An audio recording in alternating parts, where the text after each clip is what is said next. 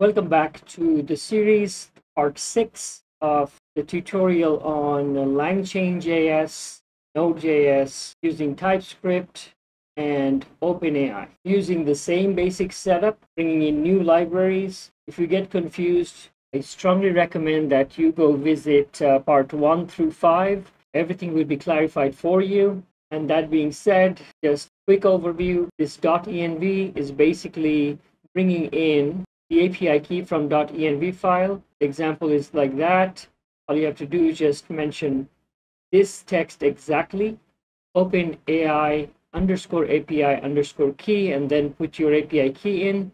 And LangChain will understand right from it because this .env config will pull it up and feed it to it.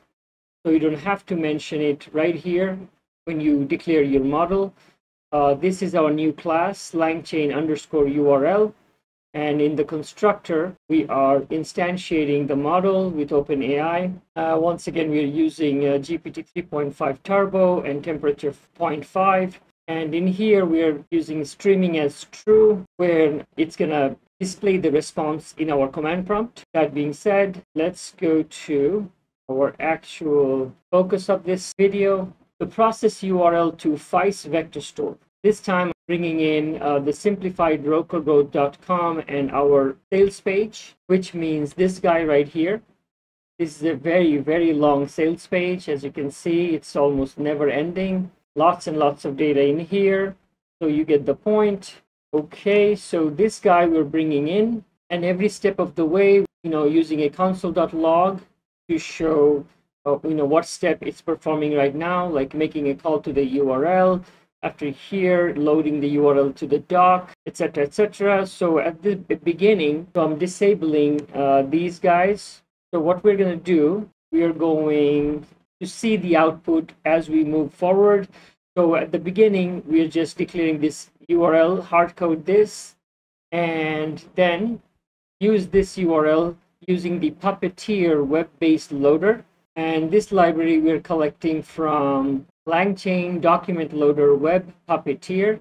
And also just to use these libraries, we're gonna have to bring in the, the actual libraries also. So let's check out our package.json. Look at the dependencies. We're gonna be using the Cheerios library and also the, the puppeteer library. HTML to text. Of course, we're going to be using the uh, the FAISS library, so FAISS node should come in. .env, uh, and then uh, we need uh, the type slash puppeteer because it's TypeScript. So make sure you load these libraries up. Now let's go back. So using this library, we're going to first fetch the, the actual uh, data from the URL. So we're going to use this, go to the URL and wait until everything is loaded up. Then focus on the body element using document.query selector body. So whatever is contained inside the body, we're going to uh, load it up in the body element and return it. And eventually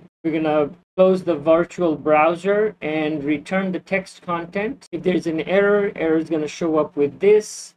So by then we will be loading up, uh, creating the loader. That's where the data will be. So then use the loader.load. We're gonna load up the doc in URL docs. And then from URL docs the first item in the array using dot zero dot page content. We're going to be loading the page content in here. So at this point, let's go see what we load up. Let's make sure all the other ones are commented out. All right, so let's save that. So we're going to go ahead and uh, just handle the puppeteer one and load the document and show the page content in our output window. Let's save that and let's see where we are. Okay, good. And let's go here. We already instantiated the class by importing it from here and using the, the new keyword. And now let's call up that function. So let's save that. And we're bringing in this, uh, we're invoking this function, process URL to FAISS vector store coming from this class. Now let's run npm run dev. Okay, So let's see what it does. Okay, making the call, loading the URL docs, and boom, this is the raw content of the body element, right? So we need to do a lot of cleanup because everything is all mushed up, you know, the text and the HTML content. So now we're going to go ahead and implement, disable this guy. We've already seen what we needed to see. Oh, sorry, not this one. Actually, we're going to disable this guy. And now we're bringing in the Cheerios library.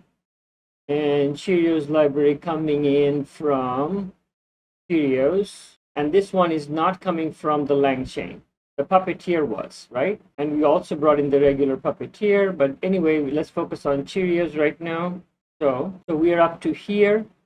Now we're creating this dollar object and using that dollar object, we're going to be cleaning up all the, the scripts and the styles from the HTML body content by using this dot remove.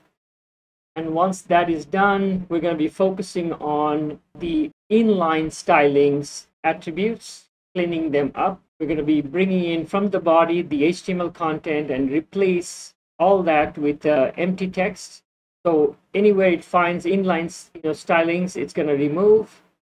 And then we're going to go ahead and use this clean text, pass it along with the cheerio.load and create a brand new string and then convert that into a text string using cleaned dollar body dot text function. And this time we're going to see what content we find and how clean it gets. Save that. Let's come here. Okay. Making the call and we load it up.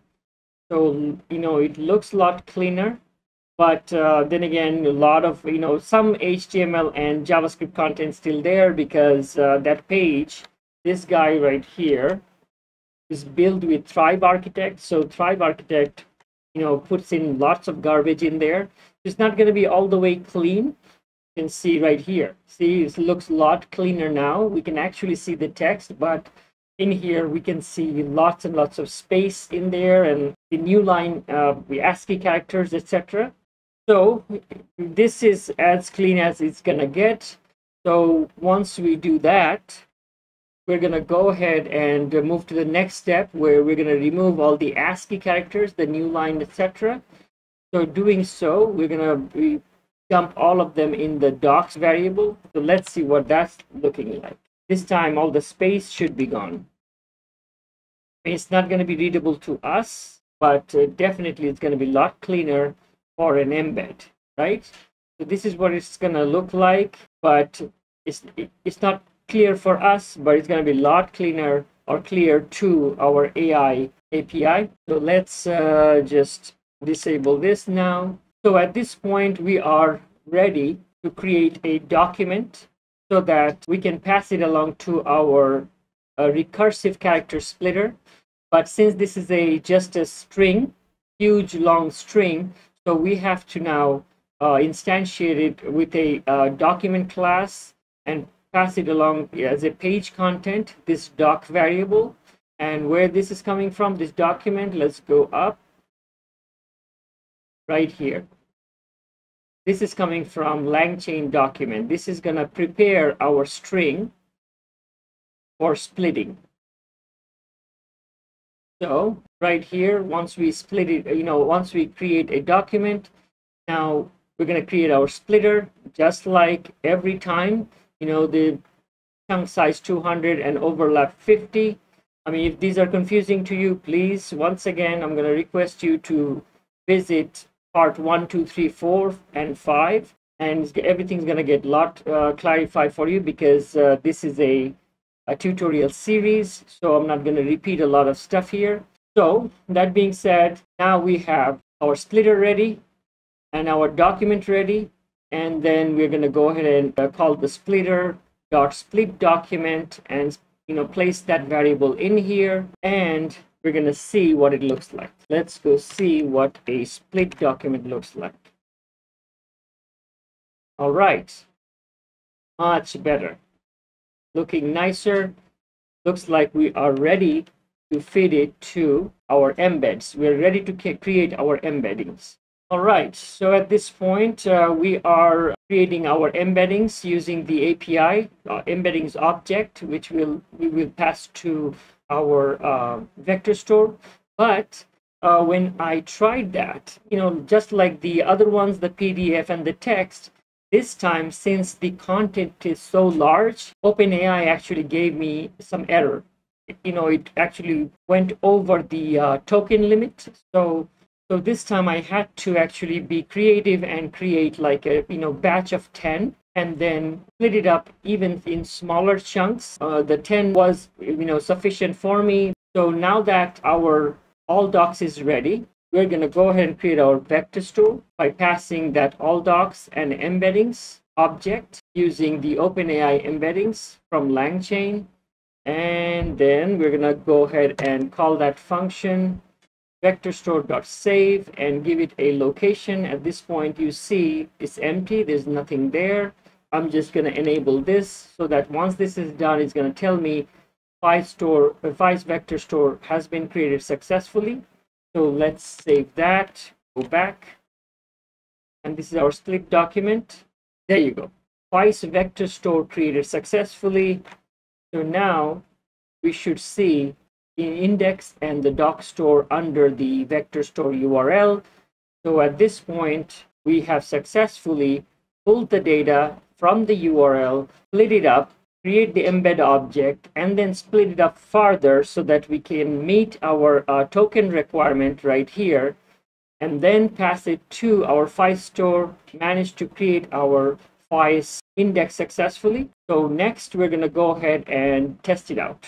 Welcome back guys. So we are now ready to query our newly created vector store under URL. So in here, last time we used this function, process URL to FAISS vector store.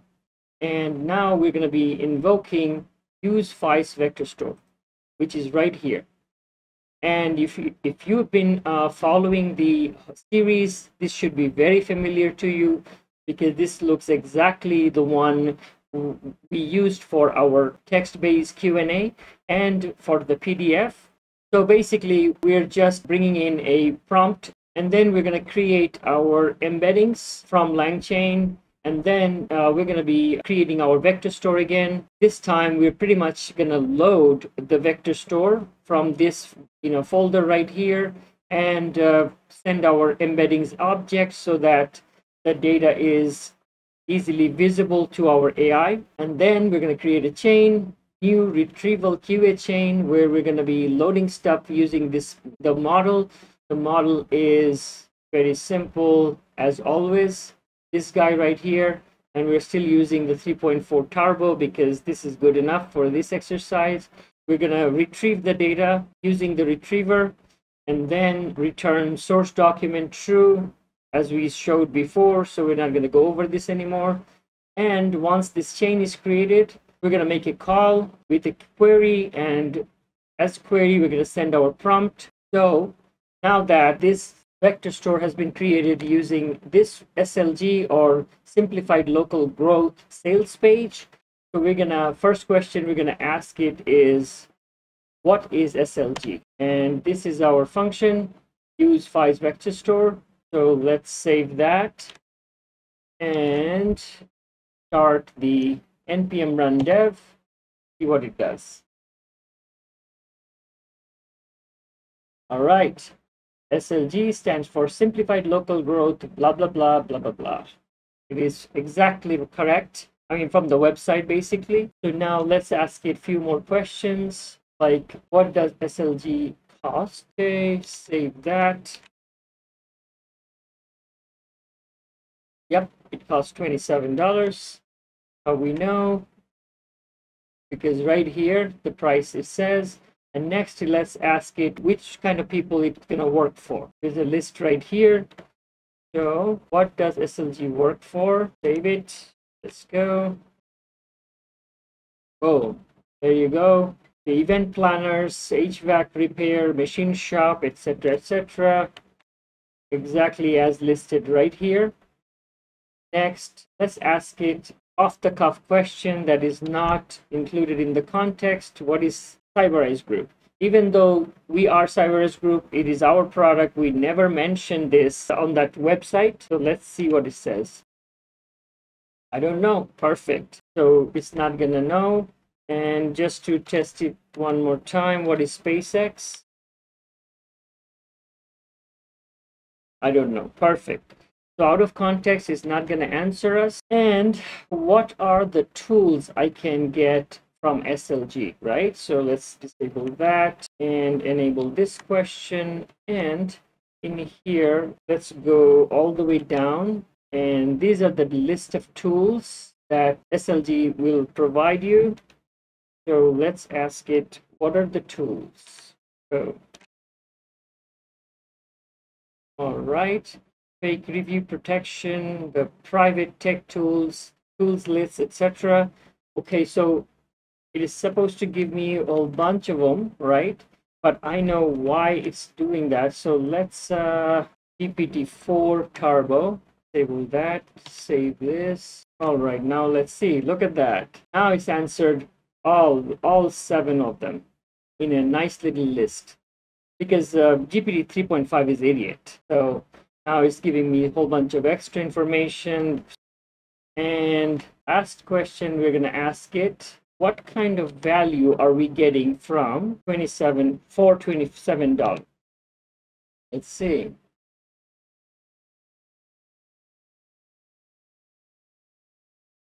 All right the value we're getting is 472 dollars worth. As it mentions right here once again dead accurate our project is a success so we just finished grabbing an entire web page data, converting it into embeds, create a file store, and built a Q&A bot with accuracy of almost 100% at this point. And that being said, this concludes the series where we learn LangChain.js, Node.js, using TypeScript, and OpenAI API. Thanks for watching.